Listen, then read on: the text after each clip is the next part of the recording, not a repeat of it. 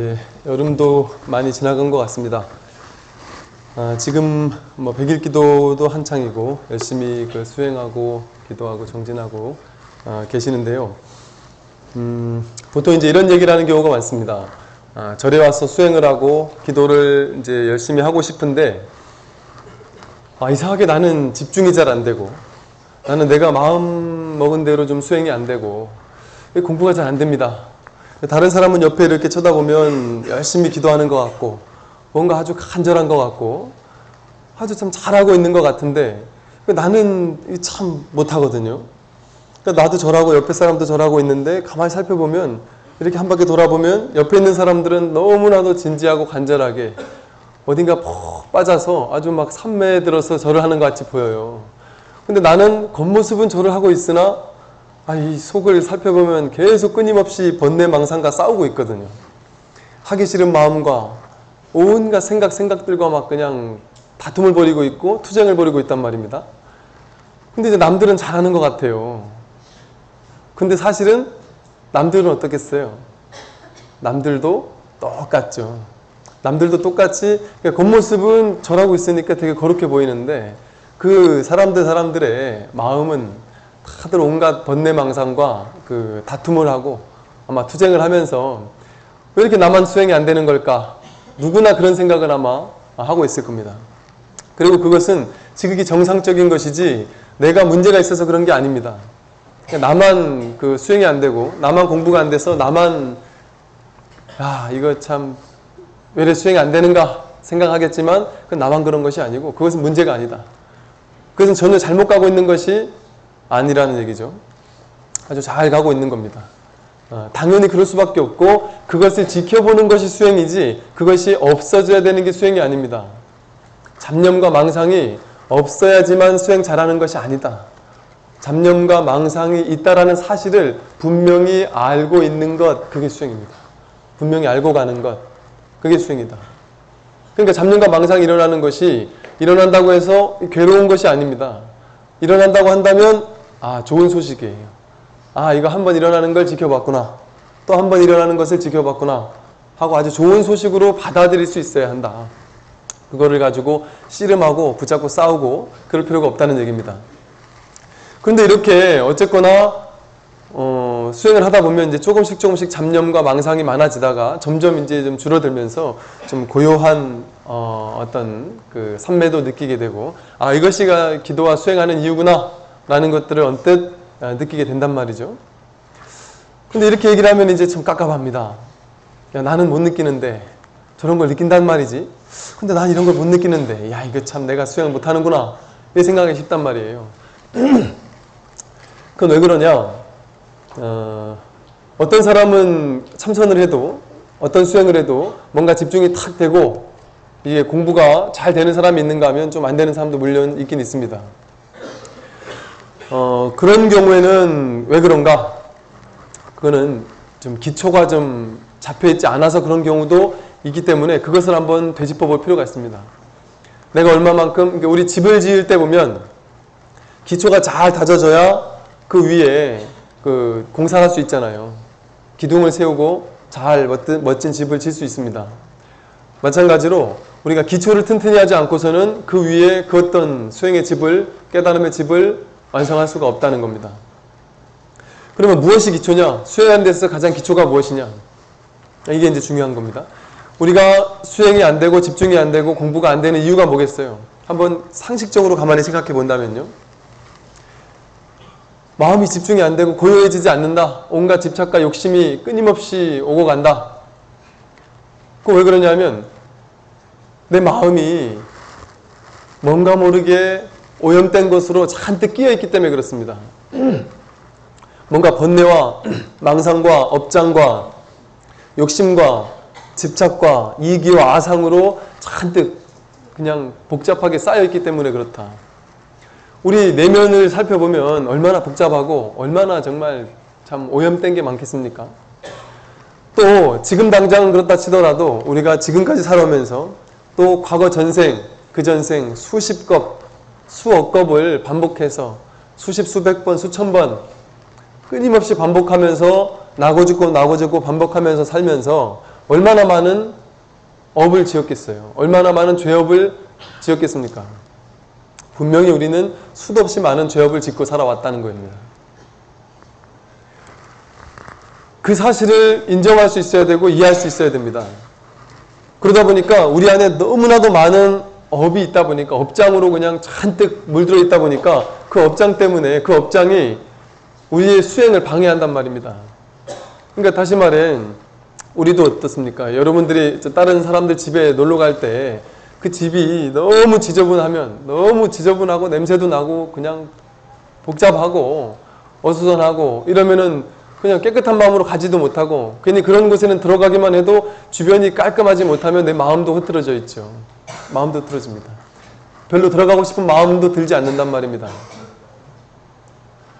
마찬가지로 우리 내면이 말끔하게 청정하게 비워져 있어야지 깨끗하게 오염으로부터 벗어나 있어야지만 어, 우리도 우리에게 비로소 깨달음이라는 것이 찾아올 수가 있는 겁니다. 예, 그 수많은 선지식 스님들께서는 그렇게 말씀하시거든요. 깨달음은 우리가 찾아가는 것이 아니라 깨달음이 나를 찾아오도록 만들어 만들어야 한다 이러거든요. 그러니까 내가 깨달음을 애써서 찾아가고 깨달음을 쫓아가는 것이 아니라 깨달음이 나를 찾아오는 겁니다. 그 말은 다시 말해 뭐냐면 깨달음은 이미 나에게 있다. 나는 어리석은 중생이라 깨달음과는 거리가 멀기 때문에 그 깨달음을 찾아서 천지사방을 헤매고 다녀야 하는 것이 아니라 이미 나에게는 깨달음이 있다. 이미 나는 완벽한 존재다. 이미 나는 완벽한 존재라. 그러니까 나에게 이미 깨달음이 있고 나는 이미 부처란 말입니다. 근데 우리는 그것을 이해하지를 못해요. 내가 이미 완성된 존재이고 깨달음을 얻은 존재인데도 불구하고 우리는 그렇게 받아들이지 못한다. 그게 바로 온갖 오염된 것이 많아서 그렇단 말입니다. 그러니까 내가 오염된 것으로서 본래 있는 깨달음을 덮어두고 있는 거예요. 덮어두고 있는 거 그 마음만 탁 벗어버리면 되는데 그걸 못 벗어버린다. 그래서 깨달음이 나를 찾아오도록 나의 상태를 바꿔놔야 되는 겁니다. 내가 지금 못 오도록 애써서 막고 있는 상태란 말입니다. 깨달음은 항상 오고 싶어 하고 항상 내 앞에 와 있는데 내가 눈이 멀어 있는 거예요. 눈을 딱 감고 있는 겁니다. 그 이 눈을 떠, 뜨고 있어야 한다. 열려 있어야 된다. 닫아놓고 있으면 안 되고. 마음을 활짝 열어놔야 된단 말입니다. 그러니까 나라는 존재의 상태를 바꿔놓으면 이제 깨달음은 물밀듯 다가오고 깨달음뿐 아니라 온갖 공덕들이 우리에게 구족하게 된다. 그러면 어떻게 해야 내 상태를 바꿀 수 있느냐? 그게 바로 좀 전에 말씀드렸던 것처럼 어, 내가 진리를 흡수할 수 있을 만한 준비가 되어 있어야 된다. 그러려면 내가 말끔하게 비워져 있어야 됩니다. 청정해야 한다. 그래서 어, 불법승 3보에서 그 승, 승보라는 것은 자성 청정즉 승보 이래서 스스로의 자성이 청정한지를 본래 아는 것 그것이 승보이고 그래서 스스로를 그 본래의 청정한 자성과 하나가 되도록 스스로의 삶을 청정하게 바꾸는 것 그게 바로 수행자입니다. 그러니까 여러분들이 절에 나오는 이유 절에 나와서 기도하고 수행하는 이유는 수행자가 되기 위해서 그런다. 근데 수행자는 뭘 보고 수행자라고 하느냐? 그것은 청정함을 보고 수행자라고 한다는 겁니다. 말끔하게 비워진 청정한 존재, 그것이 바로 수행자다.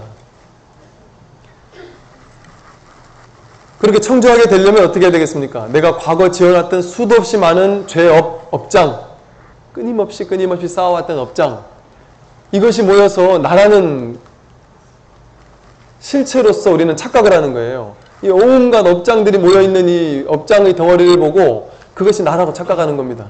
그 업장의 덩어리는 업들이 수도 없이 모여가지고 그것이 어떤 특정한 형태로 모여있단 말입니다.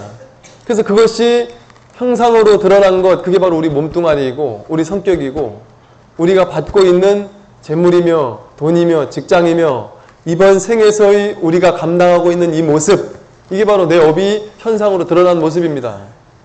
그러니까 복이 없는 사람은 아주 가난하게 태어날 것이고, 물질적으로 베풀기를 많이 한 사람은 부유하게 태어날 것이고, 아름다운 것을 보고, 꽃 한 송이를 보고, 모든 사소한 것을 보고 아름다움을 누릴 줄 아는 밝은 열린 눈을 가진 사람은 아름다운 모습으로 태어날 것이고 그 어떤 좋은 것을 봐도 좋은 줄 모르고 부정적인 시선으로 세상을 보는 사람은 우선 태어나자마자 외모부터가 탁하고 이쁘지 못하게 태어날 수가 있다.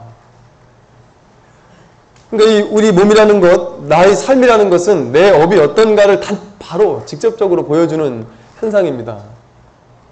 그러니까 이것이 바로 내 업의 나툼이다. 이렇게 내 업이 지금 나의 모습으로 이렇게 나투고 있는데 내 과거에 지어왔던 끊임없이 많은 수없이 많은 죄업이 있단 말입니다. 수미산을 넘을 만한 저 히말라야를 막 수백 수천 개를 갖다 놓는 그것보다 더 큰 업장이 우리 안에 누구나 있다. 그러니까 지금 많은 사람들은 내 안에 죄의 업장이 있다 이 사실을 잘 모릅니다. 모르니까 어떠냐면 야 나는 좋은 일만 있을 거야. 내 인생에는 좋은 일이 생길 거야. 지금까지 내 인생 별 문제 없었으니까 앞으로도 문제 없을 거야. 이렇게 생각합니다. 지금까지 문제 없었다고 앞으로의 삶도 문제 없다고 어떻게 보장합니까? 과거의 업이 지금 아직 나오지 않은 것이지 1년 후, 10일 후, 한 달 후, 5년 후, 10년 후 아니면 인생의 말년에 그 업장이 어떤 방식으로 나올지 우리는 아무도 장담할 수가 없습니다. 1년 후에 죽을 병에 걸려서 몸져 누울지 제가 아는 어떤 분께서 운동하시고 성품도 착하시고 정말 열심히 사시는 아무 문제 없이 사시는 분이 계셨고 그 가족도 너무나도 행복한 가족이 있었습니다. 그런 그냥 우연히 우연히 그 보살님이 그 병원에 갔다가 거사님한테 우리 종합 검진 한번 해보자. 내시경 다들 한다는데 우리도 나이가 좀 들었으니까 내시경 한번 해보자. 그 거사님이 병원을 아주 싫어하는 분이라 나는 내 인생 그런 거 없다. 죽어도 안 한다. 이래 하시다가 그 보살님의 그 막 평소에는 어지간하면 남편의 싫다면 안 했는데 그날따라 이 보살님이 기를 쓰고 그냥 막 병원에서 그 막 싸워가면서 이, 이 거사님 입장에서는 이, 이 병원 로비에서 보살님이 하도 막, 막, 뭐랍니까, 땡땡땡거리면서 내시경 안 하면은 나 막 뭐라 그러면서 삐지시니까 그게 좀 싫어가지고, 아, 또 이게 남들 보는데 싸우기가 좀 뭐해서, 아유, 알았다, 알았다. 그 어째 못 이겨서 내시경을 했는데, 그, 암 판정을 받았습니다. 그 마침도 그래도 1기에서 2기쯤으로 아마 넘어가는 암이었나 봐요. 그래서 그때 어떻게 잘 수술해가지고 되었다. 이런 사람들 너무 많지 않습니까? 멀쩡하게 잘 사는 사람이 갑자기 큰 병에 걸려서 눕, 눕거나 죽거나 이런다. 그, 저, 서울에 사는 그 성인들을 대상으로, 40대, 50대 분들을 대상으로 이렇게 조사를 해봤더니 그 병원 의사들이 그러더랍니다. 이 서울이라는 이 대도시에 사는 그 직업인들, 성인들, 이 사람들이요, 대부분의 사람이 거의 대부분의 사람이 언제 터질지 모르는 큰 병을 잠재하고 있다. 그 언제 터질지 모를 뿐이지 지금 안 터졌을 뿐이지 다 안고 끌어안고 살아가고 있다는 겁니다. 끌어안고 살아간다. 어, 그런 얘기도 있죠. 심지어 어, 어떤 사고가 나서 죽은 사람들 그 부검을 하다 보면 그 사람은 자기가 암인지를 전혀 모르는 상황으로 잘 살고 있었는데 사실은 암세포를 그냥 끌고 가는 끌고 가는 겁니다. 그런 사람들이 그렇게 많다는 거예요. 이 암세포를 끌고 그냥 가지고서 살고 가는 사람들이 그렇게 많답니다. 언제 터질지 모른다.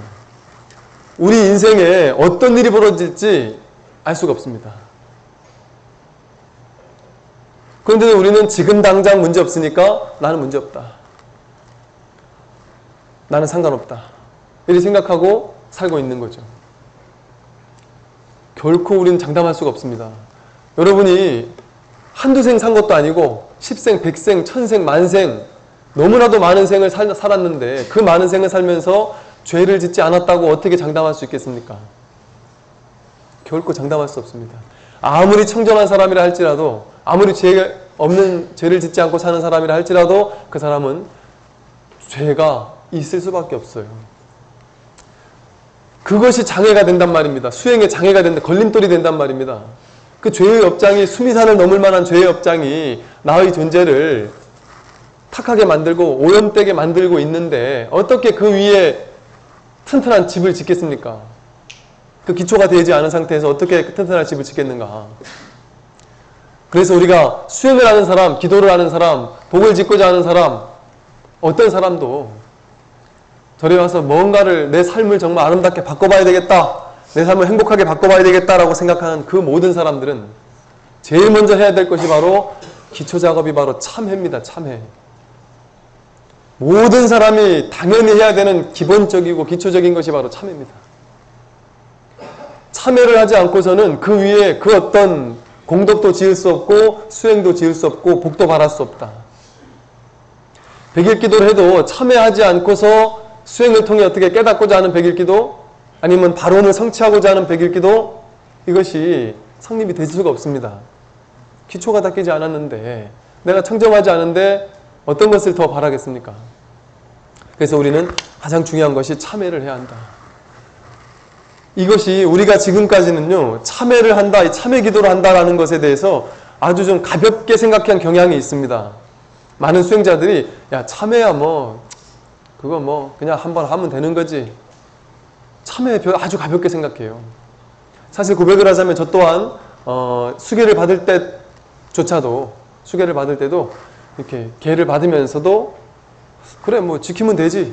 그러다 뭐, 뭐 조금씩 못 지키는 거 있으면 그뭐 어쩔 수 없는 것이고 뭐, 뭐 최대한 지켜보지 뭐 조금 안이하게 생각했단 말입니다. 안이하게 생각했어요. 점점 출가하고 시간이 흐르면 흐를수록 부처님 가르침을 점점 더 공부를 하면 할수록 점점 더 참회와 계율이라는 것이 너무나도 크게 느껴지고 내가 계율을 지키지 않는다는 것이 얼마나 큰 일인지를 새삼 깨닫게 됩니다. 얼마나 큰 일인지 깨닫게 됩니다. 우선 참회라는 것은요, 그 육조 단경에 보면 어, 참회에서 참이라는 것은 이미 저질러온 과거의 죄업을 말끔히 용서를 구하고 참회하는 겁니다. 그게 참회 의미고 회라는 것은 앞으로 오게 될 미래에 앞으로 오게 될 그 어떤 허물도 더 이상 짓지 않겠습니다라고 스스로 발언, 발언하는 것 그것이 바로 참회의 의미입니다. 왜냐하면 참회라는 것은 왜 참회가 참만 있는 게 아니라 회까지 있다. 참이라는 것은 과거의 것에 지은 것을 참회하는 건데요. 회, 이것은 앞으로 올 허물을 더 이상 짓지 않겠습니다라고 다짐한다. 아니, 참회는 과거 거만 하면 되는 거 아니겠어요? 이렇게 생각하기가 쉬운데 그렇지 않다는 겁니다. 왜 그런지 아십니까? 내가 과거에 지은 업장을 참회합니다, 참회합니다 해놓고 오늘, 내일, 모레 계속해서 업을 짓거든요. 계속해서 계율을 어긴단 말입니다. 업을 짓는다, 죄 업을 짓는다 할 때 그 죄 업, 업이라는 게 행위라 그랬죠, 행위. 행위인데 그 중에 선업이 있고 악업이 있습니다. 보통 악업을 죄업이라 그럽니다. 선업도 짓고 악업도 짓는다. 악업을 죄업이라고 한다. 그런데 그 업장을 소멸한다라는 것은 악업을 짓지, 앞으로 보세요. 과거에 지어온 업장을 참회했는데 앞으로 행위를 계속하고 살거든요. 근데 악업을 계속 짓고 산단 말입니다. 그 업에는 뭐가 있습니까? 신구의 삼업이 있단 말이에요. 몸으로 짓는 업이 있고, 입으로 짓는 업이 있고, 생각으로 짓는 업이 있다. 과거에 지어온 몸으로, 말로, 생각으로 지어온 업을 딱 참회해놓고, 참여해놓고, 절에서 참여해놓고 오늘 이제 집에 가서 입으로, 말로, 생각으로 업을 짓는다 생각해 보세요. 이게 제대로 된 참여겠습니까? 참여는 하지만 나는 앞으로 제대로 살 다짐이 제대로 없는 거란 말입니다. 전혀 참회가 전혀 참회가 성립될 수가 없습니다. 그러니까 참회라는 것은 참회의 의미와 같이 과거의 것을 참회하는 의미가 있지만 앞으로 허물을 짓지 않겠다는 의미와 더불어 함께 있는 것이다. 이 말은 뭐냐면 참이라는 것은 바로 참회, 과거를 참회하는 것을 의미하고 회라는 것은 앞으로 짓지 않겠다는 다짐입니다. 그게 뭐예요? 앞으로 죄업을 짓지 않겠다. 죄업이라는 것은 행위라 했습니다. 악행을 짓지 않겠다. 즉 악업을 짓지 않겠다라는 것. 근데 업이라는 게 뭡니까? 업을 대표적인 악업을 짓지 않겠다라고 하는 것. 그게 바로 계율이죠. 계율. 지계입니다. 계율을 지키는 겁니다. 계율이라는 게 뭐냐면 말로 생각으로 행동으로 한 악업을 앞으로 짓지 않겠습니다 하고 다짐하는 게 바로 지계고 계율을 지키겠다라는 것이고 그게 바로 계율입니다. 즉 계율이 바탕이 되지 않은 참회는 참회가 아니다. 내가 계율을 지키겠습니다라고 분명하게 확립하지 않고서 참회를 하겠다? 이것은 전혀 어불성설이다. 제대로 된 참회가 아닙니다. 그럼 계율이 뭐냐? 계율에 대해서는 이제 우리가 어, 많이 공부를 하게 되니까 어, 좀 간단하게만 말씀을 드리면요. 우리 어, 여러분 알다시피 그 개정해 사막이라 그러잖아요. 불교에서 배워야 될 세 가지가 개정해입니다. 근데 우리는 정해에 대해서는 아주 관심이 많아요. 정, 선정을 통해서 해, 지혜를 깨닫는 것, 여긴 관심이 많은데 그것의 바탕이 뭔지 모른단 말이에요. 기초가 뭔지 모른단 말이에요. 그게 바로 개입니다. 계율을 지키는 바탕 속에서 정과 해가 나오는 거예요. 계를 지키지 않는 사람에게는 정과 해는 결코 오지 않습니다. 근데 그 계율의 토대는 참회라는 겁니다. 참회라는 것 자체가 계율과 참회를 아울러 함께 가지고 있는 것이고요. 그래서 어, 이 참회를 하기 위해서는 내 스스로 먼저 계율을 반드시 지키겠다라고 하는 다짐이 있어야 하고 그것을 토대로 여태까지 지키지 못했던 죄업에 대해서는 참여하겠습니다라는 이 두 가지가 함께 있어야 된다. 그래서 그 계율이 있어야지만 정과 해도 아울러 생긴다. 우리가 이제 그 계율을 지킨단 말입니다. 계율 이제 여러분들이 이제 신도님들께서 지켜야 될 대표적인 계율이 다섯 가지 계율입니다. 다시 말해서 이 다섯 가지 계율을 지키게 되면 야생의 밀림에 울타리를 치는 것과 같습니다. 야생의 밀림에 있으면 독사도 와서 공격할 것이고 아주 사나운 짐승이 와서 공격할 것이고 수많은 그 짐승과 독을 가진 그 많은 것들이 와서 우리를 괴롭힐 거거든요. 언제 죽일지 모른단 말입니다. 근데 울타리를 딱 튼튼한 울타리를 쳐놓으면 방어해 주지 않습니까? 그러면 두려울 게 없잖아요. 마찬가지로 내 주변에 울타리를 치는 것과 같다. 그게 바로 계율을 지키는 겁니다. 계율을 지키게 되면 삿된 것이 들어오지 않는다. 그래서 계율을 지키는 뭐 육체가 개체가 된다 그러죠. 그래서 계율을 지킴으로써 우리가 개체를 이루었을 때 화엄 성중님들이 계율을 지키는 자를 쫓아다닌단 말입니다. 앞에서 뒤에서 화엄 성중님들이 우리 계율을 지키는 자를 옹호해 준다. 어디를 가더라도 우리를 따라다니면서 착한 선신들이 우리를 옹호해 준다는 겁니다. 그 말은 계율을 지킨다라는 자체가 온갖 선한 것들을 끊임없이 끊임없이 양산해내고 온갖 악한 것으로부터 우리를 지켜주고 보호해주는 역할을 한다는 겁니다. 여러분들 절에서 수행해라, 기도해라, 뭐 복을 지어라 이런 얘기 많이 들어보셨을 겁니다. 근데 계율에 대해서는 그렇게 많이 듣지는 못해, 못한단 말이에요. 계율, 수계 받을 때나 받는단 말입니다. 율사 스님들 때때로 만나야지만 그런 얘기를 듣기가 쉬운데 결코 그것은 율사만 하는 것이 아니다. 우리가 생활 속에서 계율을 지키지 않으면 전혀 토대가 토대가 붕괴되는 겁니다. 그런데 여러분들 아마 수계 다 받으셨을 거고 아마 법명 다 있으실 것이고 계, 수계를 다 받으셨고 계율을 지키겠다고 다짐하셨을 텐데 사실 계율에 대해서 생명처럼 느끼는 사람이 있느냐? 여기는 자신 있게 답하기가 어려울 겁니다. 물론 저 또한 마찬가지고요. 자신 있게 답하기 어려울 겁니다. 이 계율에 대해서 원점에서 다시 생각해 봐야 됩니다. 원점에서요. 왜 원점이라고 하느냐 하면 어, 원점에서 생각해 보지 않는다면 우리는 결코 계율을 지킬 수가 없습니다. 왜냐하면 대부분의 사람들이 계율을 지킨다는 것 자체에 대해서 아주 어렵게 생각해요. 그것은 완벽하게 지키는 것은 당연히 어렵다라고 딱 못 박아 놓습니다. 보통은. 야, 그 계율 어떻게 지키냐, 내가. 못 지켜, 못 지켜. 이렇게 딱 못 박아 놓기 쉽습니다.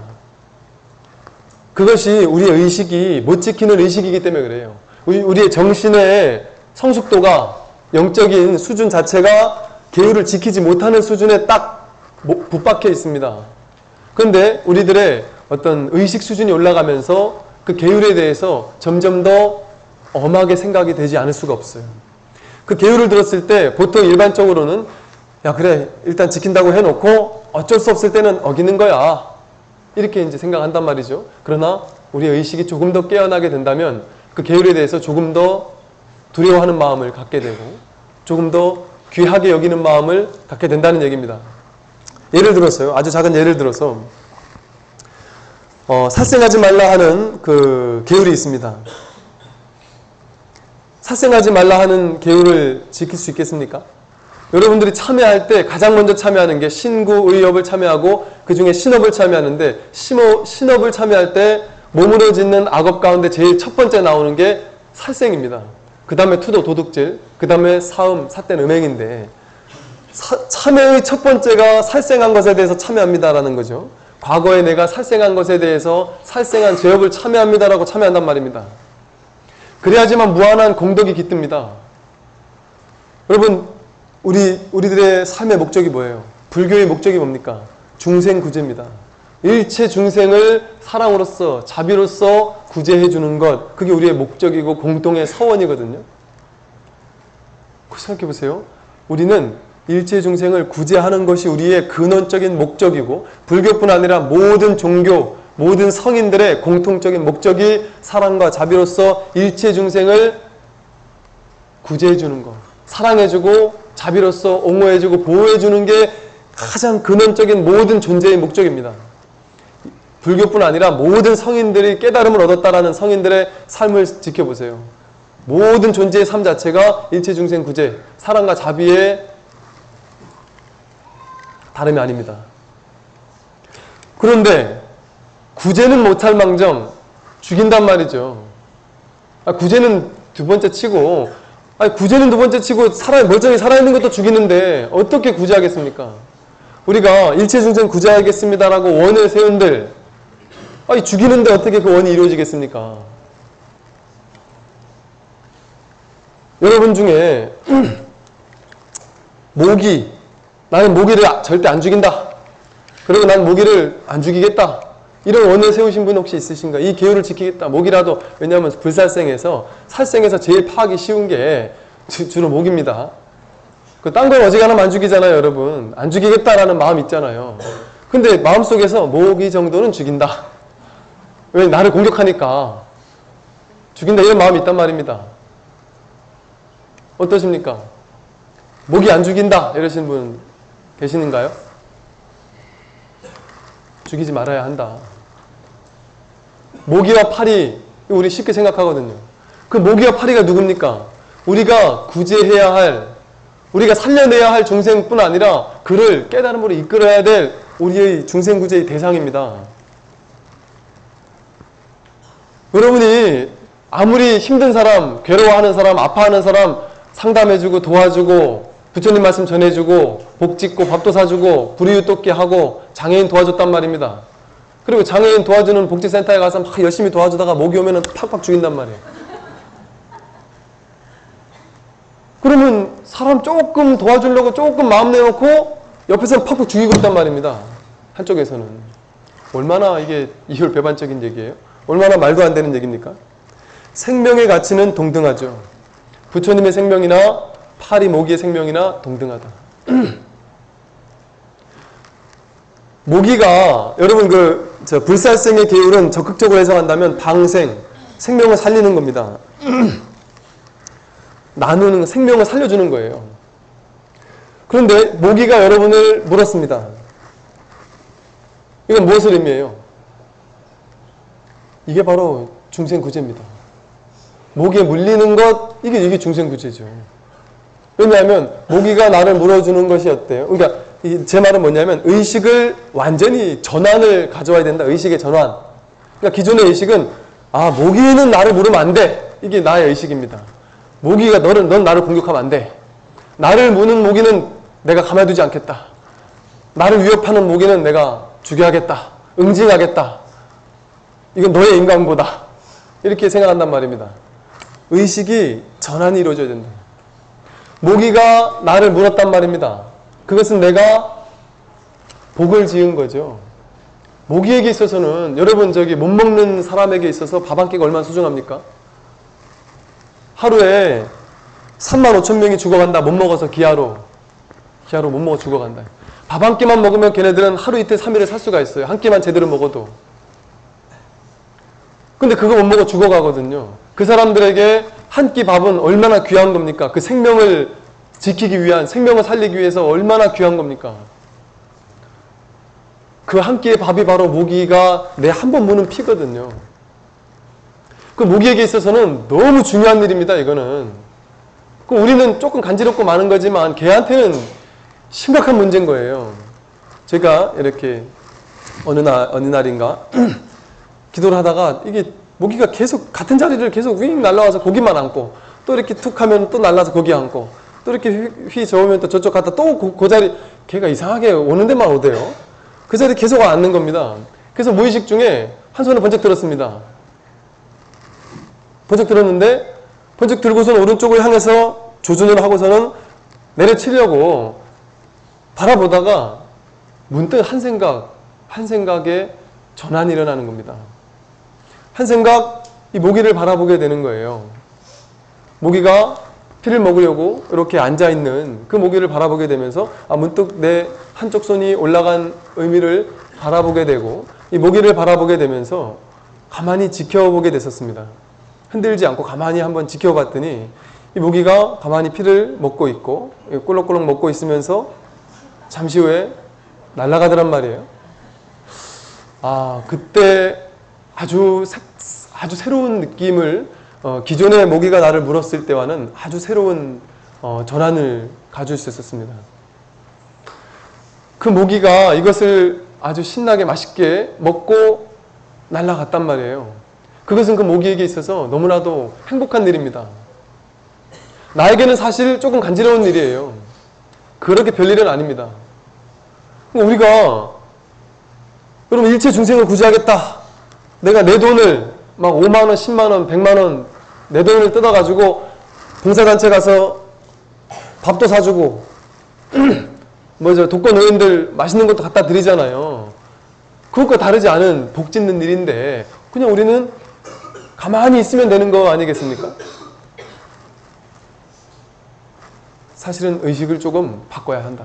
그것은 우리가 모기가 나를 공격하는 것이 아니라 내가 모기에게 보시하는 것이다. 보시하고 있는 거다.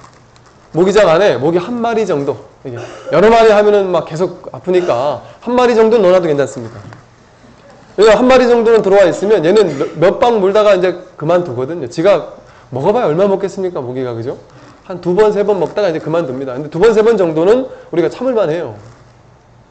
아니, 시- 경험해 보세요. 한 마리만 딱 넣어놔 보세요, 집안에. 한 마리나 두 마리만 딱 넣어놔 보면, 아, 한 두 방 정도, 세 방 정도 물리고 나면 좋은데, 의식의 전환을 딱 가져와서 이놈이 날 공격했다라는 의식이 아니고, 아, 내가 오늘 보시했구나. 이 의식으로 딱 바뀌면, 아, 이 간지러운 것이 아주 기뻐요. 왜냐하면, 간지러운 대신, 아, 나는 보시를 했단 말입니다. 간지러운 대신 보시를 했단 말이에요. 이거 얼마나 기쁜 일이에요? 간지럽지만 기쁜 일입니다. 절하면서 다리는 아파 죽겠지만 기쁘듯이 기쁜 일입니다. 복지인 거기 때문에. 제 말은 불살생의 계율 한다 했을 때 어떤 한 가지 내가 죽이지 않는 것을 원칙으로 하라는 겁니다. 원칙으로. 원칙으로 할 수 있습니다. 의식을 바꾸면. 도둑질하지 않는다? 우리가 쉽게 쉽게 도둑질하기 쉽거든요. 물론 남의 거 확 훔쳐오진 않습니다. 어지간해서는. 근데 쉽게 쉽게 도둑질하죠. 회사에 그냥 공짜로 쓸 수 있는 볼펜이 많다. 그 볼펜 하나 슬쩍 집에 가져와서 쓰기도 하고 이게 엄밀히 가만히 내 마음을 살펴보면 이것도 하나의 양심이 어긋나는 일이죠. 그런 것도 일치하지 않겠다. 공적인 것, 공적인 일인데 내 사적으로 조금 조금씩 도용해 쓰잖아요. 그죠? 조금 조금씩 도용해 씁니다. 그 그것에 대해서 냉철히 관해 볼 수 있어야 된다. 제가 어, 11년 전 처음으로 주지를 딱 나왔을 때 그때 조금 안이하게 생각했던 것들 아, 요 정도는, 요 정도는 내가 써도 안 되겠나? 우리 절돈이지만, 요 정도는 내가 써도 안 되겠나? 야, 요 정도는 내가 사적으로 좀 써도 안 되겠나? 야, 뭐, 이렇게 좀 생각했던, 좀 쉽게 쉽게 생각했던 것들이, 어, 시간이 지나오면서 제가 공부를 하면서 점점 더 무서운 것이구나라는 것들을 느끼게 됩니다. 아주 작은 것에, 뭐랄까, 이 기준이 점점 엄격해지기 시작한다. 작다고 생각한다면 작지만 그것이 그렇게 또 작지 않을 수가 있거든요. 아주 뭐랄까 특히 이렇게 절의 삼보 정제라는 것은 너무나도 귀한 것이기 때문에 하나 정말 허술하게 써서는 안 되는데 그래서 이게 절에 저 지옥에 가면 스님들이 막 그냥 부글부글 하더라고 그 이유가 뭐겠어요? 이 신도님들이 다 얼마나 귀한 돈이겠어요. 이게 얼마나 귀한 돈으로 정성을 다해서 우리 아들 대학 붙게 해주세요 이러고 천 원 딱 올려 보시한단 말입니다. 부자 되게 해주세요 하고서 만 원 딱 보시한단 말입니다. 그 마음을 담아서 보시한단 말이에요. 그 그것을 가지고 사적으로 막 쓴다면 이게 얼마나 큰 죄입니까? 다른 돈보다 더 큰 죄가 된다. 그런 작은 것들이라고 생각하는 그 생각 자체를 우리가 잘 관찰할 수 있어야 된다. 그래서 야 내가 도둑질 하지 않겠다. 이것을 마음 가슴 깊이 받아들일 수 있어야 된다. 사대 음행 이건 뭐 말할 것도 없죠, 그죠? 이거는 이거는 무조건 덮어두고 절대 결정코 끝끝내 하면 안 되는 겁니다. 말로써 남들 상처 주는 말, 은근히 내 자랑함으로써 상대방 기분 나쁘게 하는 말, 은근히 남들 하나 붙잡아 놓고 이제 욕하고 헐뜯고 험담하고 남들 헐뜯고 험담하면서 얘기를 해야 이게 좀 사실 좀 친해지거든요. 더 정감이 가고 더 쉽게 친해진단 말이에요. 그럼 왜 그런 식으로 친해져야 하느냐? 그런 말을 잘 관찰해 볼 수 있어야 된다. 내가 설령 좀 불이익을 당하더라도 내가 삿된 거짓을 하지 않겠다. 술 마시지 말라. 내가 술 마시지 않겠다. 거사님들 이제 이 대목에서 이제 거사님들이 발끈하시기가 쉽습니다. 술 안 먹을 수 있죠, 사실은. 안 먹을 수 없는 게 아닙니다. 안 먹을 수 있어요, 사실은. 그러나 베이스로 까는 게 뭐냐면, 야, 나는 5개는 절대 못 지킨다. 술 때문에라도 못 지킨다. 내가 사회생활 해야 되는데 어찌 술을 먹겠느냐? 난 절대 그건 못. 이것 때문에라도 나는 5개를 완벽히 못 지킨다. 하고 딱 기초 자체를 나는 안 돼. 이렇게 깔고 있단 말입니다. 의식을 완전히 바꾸면 가능하다. 그 대신 부처님 가르치는 뭡니까? 개차법이다.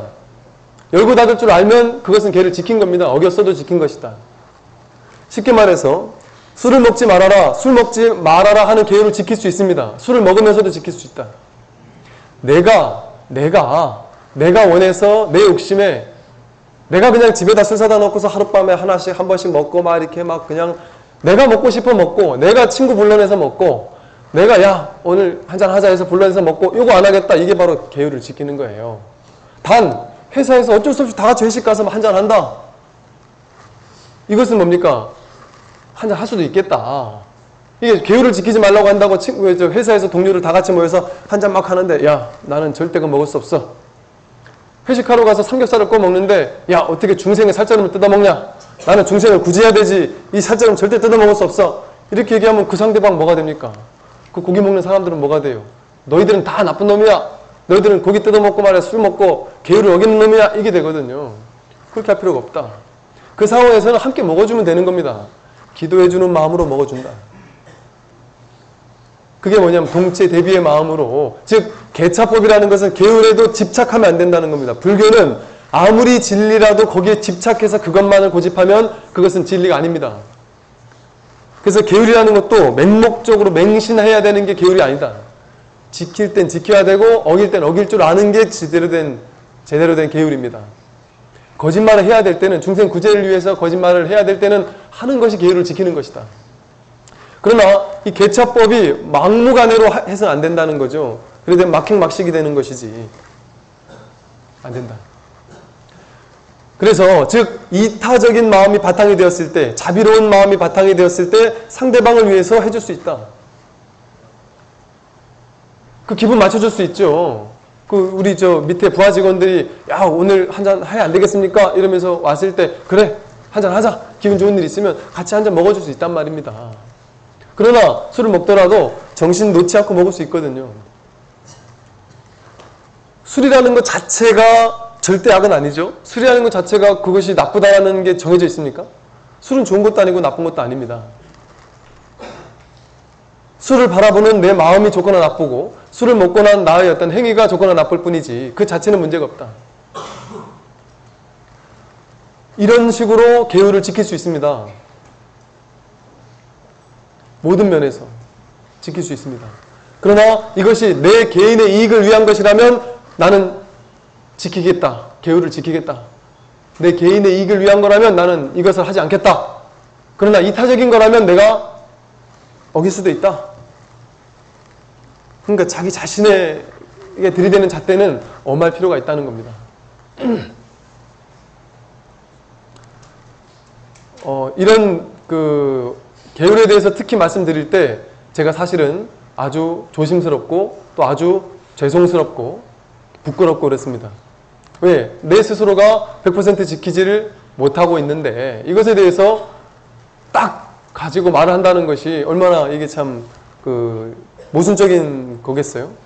저 또한 이렇게 말씀을 드림으로써 저 스스로 두 번, 세 번 재발심을 합니다.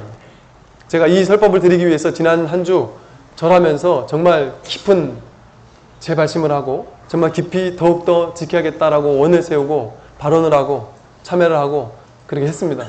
그러지 않고 내가 이렇게 얘기를 한다면 여러분에게 어, 잘못하고 있는 것이다 라고 생각을 합니다. 그러니까 여러분들이 저의 도반이 되어서 제가 잘 하고 있는지를 잘 지켜봐 주시면 저도 이렇게 얘기한 것을 통해서 더욱더 아 내가 더욱더 지켜야 되겠다 하는 이 마음을 더 견고히 할 수 있을 것 같아서 이렇게 말씀을 드리고요. 이렇게 계율을 지킨, 지키게 됐을 때 내 스스로 지금부터 계율을 지키겠다라는 의지가 있는 거 아니겠습니까? 그랬을 때 참회가 힘을 받는단 말입니다. 그런, 그런 마음, 계율을 지키겠다라는 의식의 전환이 있은 다음에 참회를 했을 때 그 참회는 큰 힘이 되어서 뭉텅뭉텅 내 죄의, 죄의 업장이 녹기 시작한다 하는 겁니다. 죄업이 분명히 녹는다. 여러분, 죄업이, 야, 이거 어찌 녹겠는가? 분명히 녹습니다. 내가 마음으로서 진심으로 이 죄업에 대해서 참여할 때, 눈물을 흘릴 때, 그때 죄업은 분명히 녹아내린다. 경전에 녹아내린다가 나오거든요. 녹아내립니다. 어떻게, 좀 구체적으로 어떻게 하면 되느냐? 여러분 우선 참여하면은 시박 참여가 있죠. 계율도 5개가 있고, 5개가 어, 신구의 3업에서 3업을 지키는 데 있어서 3업 가운데도 가장 중요하게 생각해서 지켜야 될 게 바로 다섯 가지를 뽑아놓은 게 5개입니다. 그리고 그것을 다시 10가지로 늘, 늘려놓은 것, 그게 바로 10선계입니다. 10가지 선한 업을 짓는 것, 그게 바로 10선계고요. 10가지 악한 업을 짓지 않는 것, 이게 바로 시박 참회입니다. 같은 거거든요. 10가지 업을 짓지 않겠다 하는 게 시박 참회. 그리고 선한 10가지를 짓겠다는 게 십선계다. 그러니까 참회와 계율은 함께 가는 겁니다. 십선계와 시박 참회가 함께 가야 된다. 첫째, 몸으로 짓는 세 가지죠. 살생하지 않겠다, 도둑질하지 않겠다, 삿된 음행하지 않겠다. 이것에 대해서 스스로 지키겠다라고 십선계 이 세 가지를 지키겠다라고 몸으로 짓는 세 가지 악업 이것을 지키겠다라고 발언함과 동시에 지계를 지키겠다고 서원하고 시박 참여를 하는 겁니다. 그랬을 때 참의 힘은 너무나도 무량하게 커진다. 근데 참여 계속 해놓고 오늘 밤에 가서 또 모기 한 마리 죽이고 내일은 뭐, 뭐 죽이고 우리 집에 들어온 벌레를 죽이고 사실은 잡아서 버려줘도 저 밖에 내보내줘도 되잖아요. 그죠? 내보내줄 수도 있거든요. 근데 굳이 죽일 필요가 없는 것들은 굳이 안 죽여도 되죠. 그래서 시박 참여를 하는데 어떻게 참여를 하느냐 이 열 가지에 대해서 몸으로 짓는 세 가지, 입으로 짓는 네 가지, 생각으로 짓는 세 가지 이 열 가지에 대해서요 하나 하나 절을 하면서 하나 하나 참여를 하는 겁니다. 마음속으로라도 과거에 예를 들어 첫째 불살생 살생하지 않겠다. 살생한 죄업을 참여합니다. 내가 지금까지 살생해온 죄업을 참여합니다 하잖아요. 그러면 조금 가까이서부터 멀리까지 내 삶을 한번 두, 고 한번 참여를 해야 된다. 그래서 여러분 처음에 절 백일 기도를 처음 시작하는 사람은 참회 기도 백일 기도부터 해야 된다. 참회의 백일 기도를 원만히 성취했다. 그러면 그때부터 수행력도 복덕도 더 빨리빨리 깃들기 시작합니다. 물론 훌륭하다면 백일 기도를 한세번 정도는 참회 기도를 하면 더욱 좋겠죠. 근데 하여간 처음 기도를 할 때 참회 기도를 해야 된다. 참회 기도를 하면 저절로 온갖 공덕이 생깁니다. 그래서 기도를 할 때는 참회 기도가 제일 기본이 돼야 됩니다. 그 참회 기도를 하면서 절을 하잖아요. 어제도 우리 와서 이제 500, 500배를 하는데 500배를 하면서 참회 기도가 된 다음에 이제 관하면서 무념으로 관하면서 하는 겁니다. 그 전에 참회로서 내가 지은 죄업을 참회를 먼저 해야 된다. 나를 맑혀야 된다. 그러기 위해서는 예를 들어 이러는 겁니다. 살생한 죄업을 참여합니다 하면 지금부터 절을 하면서 살생한 죄업을 참여합니다 하고 가까이 생각나는 게 딱딱 있단 말입니다. 여러분 살생한 거 떠올려 보세요. 수도 없이 떠올려집니다. 그것을 하나하나 낱낱이 떠올리면서 죄업을 참여한다. 여러분 자자라고 해서 안거 3개월 동안 스님들이 안거를 나고 마지막 날 모여서 3, 지난 3개월을 되돌아보면서 내가 지었던 잘못을 대중에게 드러내면서 참여합니다. 또 대중들에게 내가 지은 잘못이 없는지를 3개월 동안 알려주십시오 한단 말이에요. 그러한 자자를 해야 되는데 우리는 3개월뿐 아니라 평생 동안 지금까지 오면서 제대로 된 참여 안 해봤기 때문에 평생을 두고 3개월뿐 아니라 평생을 두고 내가 잘못한 죄업을 떠올리면서 부처님께 고하고 참여해야 한다는 겁니다. 그래서 3일 전에 모기 한 마리 죽인 죄업을 참여합니다. 그 모기에게 진정으로 미안합니다. 나를 용서해 주십시오. 참여합니다. 그리고 모기에게 사랑합니다.